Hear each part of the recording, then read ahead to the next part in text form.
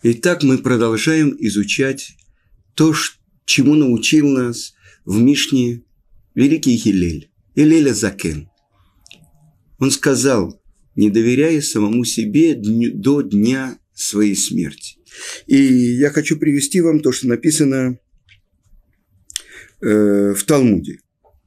В трактате Сука, 52 лист. Сказал Раби Ицкак. Яцро шеладам митхадеш алав бехоль йом в Дурное начало в человеке обновляется против него каждый день. Как сказано, киецер махшевот либо ракра коляем, что источник сердца человека только зло каждый день. Это то, что сказано в главе Нох про дурное начало в человеке. Продолжает, сказал Раби Шимон Рейш Лакиш, Бен Лакиш, יצרו של אדם מתגבר עליו בכל יום. Дурное начало в человеке побеждает его каждый день. ומבקש להמיתו и желает его убить. Как сказано, Цофе Раша Лецадик Умывакеш Ламиту подстерегает злодей праведника и хочет его убить. Ваильмале Кадош Баруху Озро, и если бы не помощь Творца, Эйно Яхолло, он не сможет, он не может противостоять этому дурному началу. Шинеймар, Ашем ло язвену биеду, Творец, не оставь нас в его руки. Итак, мы понимаем, какая серьезная борьба, война происходит в сердце каждого человека. С внешней стороны человек в галстуке, в белой рубашечке, наглаженные э, рубашки, наглаженные ниточки цицит. Прямо человек с картинки. Но что происходит в этот момент в его сердце? Это каждый человек знает только сам. Какая страшная борьба, космическая война происходит в его сердце. И открывает нам Талмуд, что дурное начало в человеке обновляется каждый день. Подождите, но ведь вчера было у меня испытание, я победил. То, что было вчера, это не значит, что сегодня. Ты также уже, ну как, обычно идет война. И на войне одна армия воюет против другой. Они заняли сопку. Все хорошо, уже сопка занят. Сегодня как будто опять новая битва. Это что? Игра в компьютере? Опять эти наступают, эти отступают, эти... Опять новая игра. И здесь заключена очень большая тайна. И это то, что написано в трактате Брахот, и тоже от имени Раби Шимона Рейш Лакиша, который сам, мы говорили с вами, был Бальчува и знал это изнутри. Он оставил путь. Одни говорят, что он был гладиатором, другие – разбойником – и стал великим еврейским мудрецом. Хеврутой раби Йоханана, великого раби Йоханана, который составил Иерусалимский Талмуд. Так что же он говорит? Чтобы всегда заставлял воевать человек свое доброе начало против злого. Леулам иргиз адам ецаратов аль ецарара. Ергиз, оргазм, э, ну это как бы сердил, э, нападал. То есть доброе начало должно всегда нападать на злое начало человека. Что это такое? А если человек видит, что он не побеждает, что делать? Чтобы он э, произнес шма. А если это не помогает, чтобы он вспомнил одни своей смерти. И он приводит строчку, которую мы читаем из э, псалма. Ригзу вальтихетуу сердите и не э, успокаивайтесь, ложитесь в дому села и погрузитесь в молчание. И он из каждой этой э, слова этой строчки учит способы борьбы против дурного начала. Ну вот, человек попал в испытание. Перед ним испытание. Выдержит, не выдержит. Что в этот момент человек должен подумать? Шма Исраиль, Ашем Элокейну, Ашем Эхад. Что несет с собой эта строчка о единстве Творца? Нет ничего, кроме Него. Эйн од воду. Только Он один. Победил – хорошо. А если нет? Вспомни, что завтра тело твое положит в землю, а душа твоя вернется к своему источнику, и ты будешь стоять на суде и давать отчет. Написано в Святой книге Зор, что каждый человек думает, что он-то пришел сюда навсегда. Этот умер от насморка, этот от другой болезни. А чего этот? А, понятно. Вот э, умер писатель Короленко, а я смотрю и из окна и пойду сейчас пить чай. Это из записных книжек Чехов. Каждый человек думает, со мной такое же не может произойти. Теоретически где-нибудь, ну я-то сам, ну я же, это, это же я, себе самый родной. Так вот, когда человек думает о том, что может наступить такой момент, и его позовут назад. Это то, что может помочь ему бороться против дурного начала. Ну вот, казалось бы, сегодня он уже победил. Так как же завтра опять война? И это не просто так. Не на том же уровне оказывается человек завтра. Ведь если сегодня он победил, и завтра он победил, это как, э, знаете, э, турнир, шахматный турнир, или турнир по... Сначала он побеждает в своем городе, потом он побеждает в своей стране, потом он выходит на международные соревнования, и вдруг он становится чемпионом мира. А как это в этой войне? Рядовой совершил подвиг. Ему дали звезду героя Советского Союза. Ему дали э, звездочки. Он был рядовой, сейчас он стал офицером. Он был капитаном, он совершил еще одну. Он стал майором подполковником, полковником, генералом. На самом деле, если человек только начинает соблюдать еврейскую традицию, он говорит, э, ну, иногда я соблюдаю субботу, иногда нет. Но человек, который уже 10 лет в этом живет, э, он уже больше знает, что такое суббота. Он уже учит законы.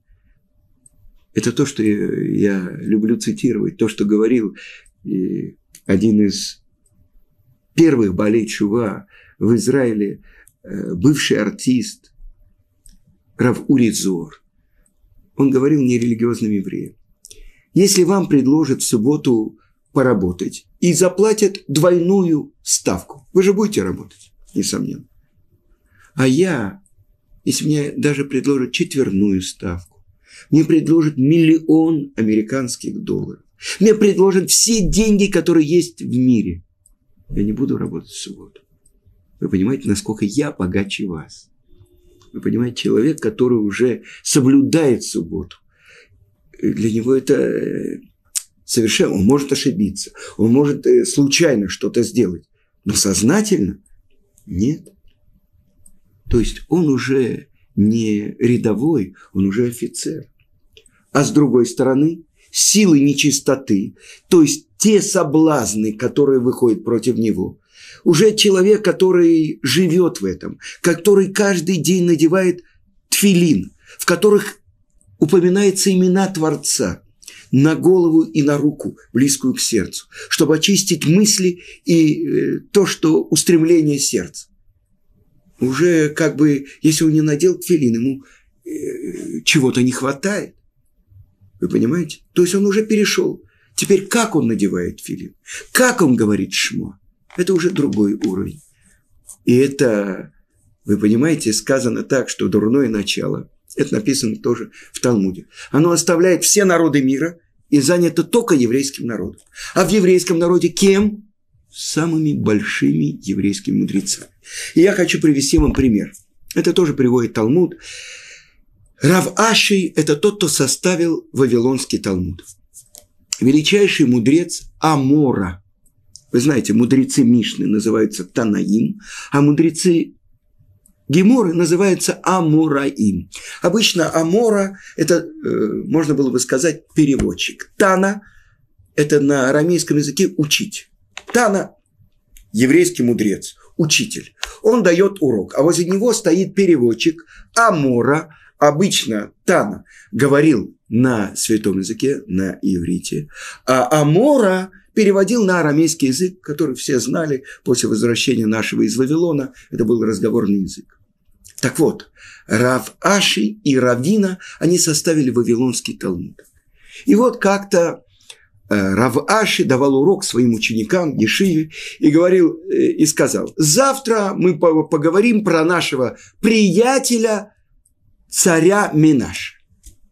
И в ту же ночь он увидел во сне, пришел к нему царь Минаш и сказал, ты мой приятель, как ты посмел так говорить обо мне. Он сказал э, э, во сне.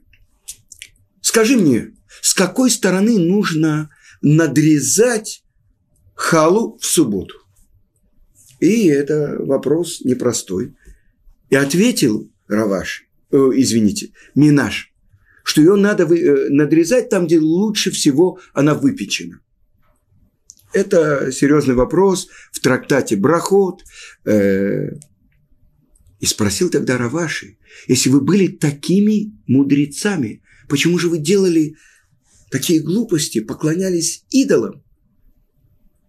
Э, известно, что Минаши, сын праведного царя Хискияу, он под страхом смерти заставил евреев служить идолам. В храме он поставил идол с четырьмя лицами со всех четырех сторон.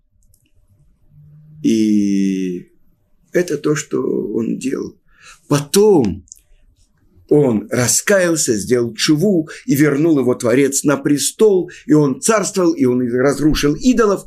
Так вот вопрос, который зовет э, мудрец Вавилона, который жил через несколько веков после царя Минаш. Если вы были такими праведниками, как же так? Почему же вы делали такие глупости и служили идолам? И ответил ему царь Минаш, если ты бы жил в наше время, это период первого храма,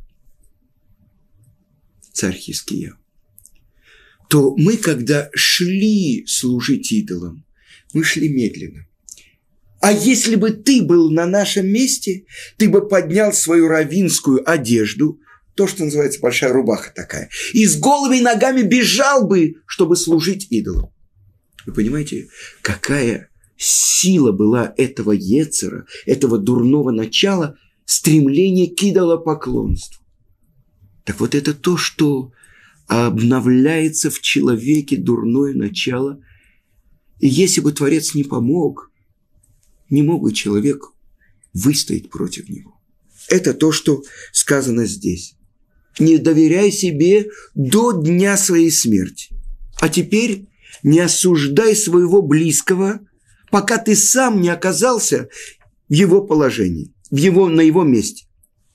Если ты узнал, что кто-то из твоих друзей, близких и так далее потерпел поражение в столкновении с дурным началом, не осуждай его. Почему? Пока ты сам не оказался в его положении, потому что ты не знаешь. Если бы ты оказался в его положении, и тебе бы выпали такие испытания, выдержал бы ты или нет.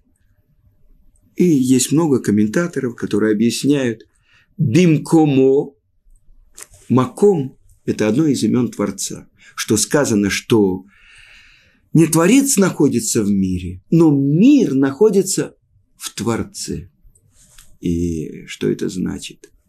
что Творец сотворил мир, и он его поддерживает. И что это значит бимкому? Один из комментаторов объясняет, что когда ты придешь к Творцу, вот тогда ты узнаешь, имел ты право обсуждать и осуждать своего друга, который не выдержал, или нет. Это очень важная вещь. Обычно человек так легко судит других и так легко оправдывает себя. Хм, я был на одном уроке, на котором мой учитель Равицкак Зильбер э, говорил, что на самом деле все люди обманщики. Это был э, семинар э, для лекторов, который устраивала организация Рахим. Он тот, кто каждого принимал как своего единственного любимого, ну, как минимум, друга, а не брата, сына, э, внука. Вы понимаете?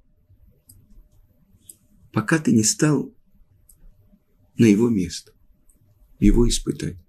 А я помню, как-то мне Равыцкий говорил, чтобы правильно судить, я делаю такой счет. А если бы я уже был по ту сторону этого мира, как бы я посмотрел на это? А если бы я смотрел с какой-то далекой звезды на это, я бы также судил. Это то, что часто Равыцкак повторял, альпидин, по букве закона. Что, как надо судить этого человека? И по букве закона это значит оправдать человека. И не говори то, что ты не хочешь, чтобы услышали, потому что в конце это услышат. Говорит э, так Коэлет, что не говори, если ты обладаешь какой-то тайной. Не открывай ее даже лучшему своему другу друг, душа которого связана с тобой. Не говори о ней даже наедине с самим собой. Думаю, что никто не услышит тебя. Потому что в конце концов это будет открыто. Даже в мыслях не кляни царя. И даже в спальне твоей не кляни богача. Потому что птица небесная донесет твою речь и перескажет твое слово. Так написано в Коэлет, Экклезиасте, который составил самый мудрый человек, который был в мире, царь Шломо. И в этом плане приводит Талмуд случай в трактате Баба Батра. Вы знаете, Гордус Ирод. Он убил всех еврейских мудрецов и оставил одного мудреца Равбабу бен Бута. И причем он приказал выколоть ему глаза. И он пришел, он сидел в тюрьме, и он пришел к нему в тюрьму и сказал, что вот этот вот Ирод, Идумей, как так вы, вы терпите его, что он стал царем? Ответил ему, даже в мыслях не кляни царя. Ну хорошо, но разве это достойный царь, разве может идумиянин быть царем? Ответил ему Рав Баба Бабутра. Рав Баба Ба Бен Бута. Даже в спальне не кляни богача. Потому что птица небесная может перенести твое слово. И стены имеют уши. И тогда открылся ему Ирод, который пришел к нему в тюрьму и провоцировал его и сказал, если бы я знал, что еврейские мудрецы настолько осторожны, настолько следуют тому, чему они учат, я бы никогда их не убил. Теперь что я могу сделать? И посоветовал ему Равбаба бен Бута. Ты погасил свет мира, поэтому открой источник света мира. И что это? Это храм. И это то, что сделал Ирод, он возобновил стены храма, улучшил, э, сделал полную реставрацию. Вы понимаете, что это такое? Если ты то, что ты хочешь, чтобы не было открыто, смотри, что в конце концов это услышит. И кто, как не мы, можем знать, что в России стены имеют уши? Помните, наверное, многие вас помнят советский период, когда, чтобы поговорить с другом откровенно, почему-то набирали, помните телефоны, которые набирали номера, вставляли туда карандаш, потому что думали, что в телефоне есть записывающее устройство. Мой один родственник э, он достаточно известный человек, и как-то по одного, после одного его выступления к нему подошел один человек с седым ежиком и сказал, я хочу с вами поговорить. Э, он сказал, да, пожалуйста. Вы знаете, что в моих руках было решение, что будет с вами вообще и с вашей жизнью в частности. Что такое? Я работник аналитического отдела Комитета государственной безопасности. И последние полтора года мне пришлось слушать ваши разговоры по телефону. Вы достаточно были неосторожны. И вот мне задали вопрос, мое начальство, что с вами делать? Сумасшедший дом или тюрьма? И я для вас выбрал тюрьму.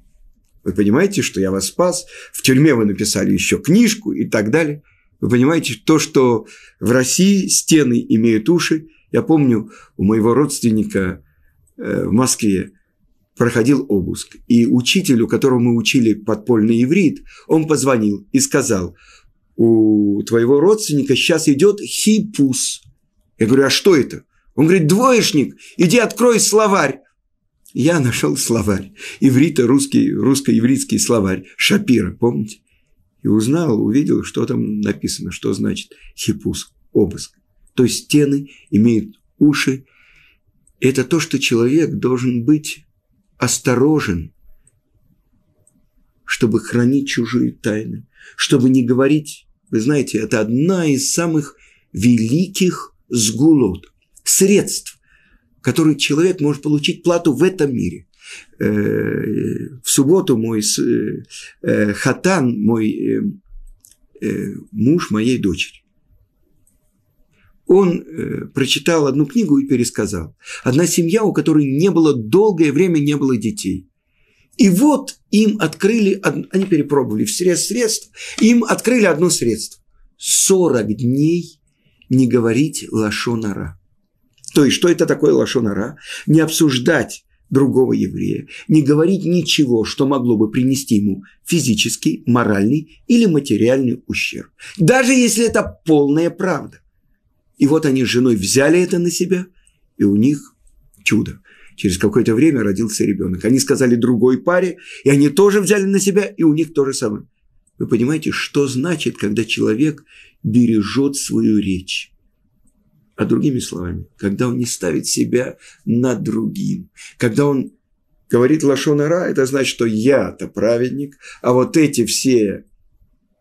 И, вы знаете, лошонара можно даже считается, если я сделал бы такой жест про какого-то человека или скривил э, губу.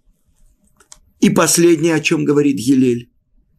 И не говори, когда я освобожусь, я буду учиться буду изучать Тору, может быть, у тебя не будет возможности освободиться. Ведь каждого человека отвлекает все новые и новые дела. Кто знает, что может случиться завтра? Может быть, завтра ты покинешь этот мир без Торы. Поэтому то, что в первой главе сказано, чтобы твоим постоянным занятием было изучение Торы, а твой бизнес, твои дела второстепенны. И я видел один комментарий, который говорит, кто тебе сказал, что Творец хочет, чтобы ты учил Тору, когда у тебя нет никаких забот? Может быть, именно в этом месте. Вот когда у тебя э, ты занят, и когда у тебя заботы, тише и пане ишне, когда освобожусь, буду учить. Нет. Вот со всеми твоими проблемами, со всеми твоими заботами. Вот это самое дорогое перед Творцом, когда человек учит Тору. С другой стороны, тоже написано в Талмуде, когда я готовил э, урок, я смотрел, это написано в Иерусалимском Талмуде в трактате Брахот. Сказал Раби Симон. На что это похоже? Что два человека, один вышел из Ашкелона, а другой вышел из э, другого города. И вот они встретились в каком-то месте на дороге. А потом один пошел в одну сторону, а другой в другую. Один отдалился от другого на какое-то расстояние, и на точно такое же расстояние отделился другой. Если ты оставляешь Тору, она оставляет тебя. Ты отдаляешься на день, она отдаляется на два. Вы понимаете? То есть, как человек должен быть осторожен и каждый день принимать лекарство. Какое лекарство? Лекарство от дурного начала. И так написано в трактате Кедушин, 30 лист. Дети мои, говорит Творец, я дал вам одно хорошее лекарство. Говорит Творец, я сотворил дурное начало. И я сотворил лекарство против него. Что? Это Тора. И говорит Раби Муше Хаям Люцата в своей книге Месилат Ешарим. Придет человек в аптеку и скажет, вот рецепт, пожалуйста. Ему дадут какие-то порошочки. Он скажет, что вы мне дали? Посмотрите, какой я могучий мужчина. Дайте мне из того синего, из того зеленого. Вот такие э, таблетки и такие таблетки. А вон там вот что-то у вас под полом. Какой хороший бутыль. Налейте мне из него тоже. Что в лучшем случае с таким человеком произойдет? В лучшем случае его скорая помощь отвезет, а в худшем случае уже нужно будет заказывать похоронную компанию. Потому что Творец сказал, я сотворил дурное начало. И я сотворил единственное лекарство против него – это Тора.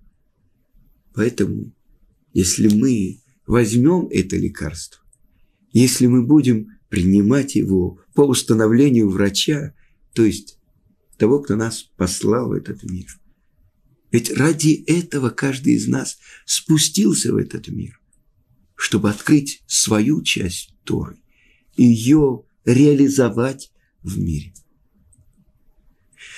На этом я прощаюсь с вами. Мы выяснили чуть-чуть, попробовали на кончике вилки – ту глубокую мудрость, которую учит нас Елеля Закен, учитель всего еврейского народа. Всего хорошего.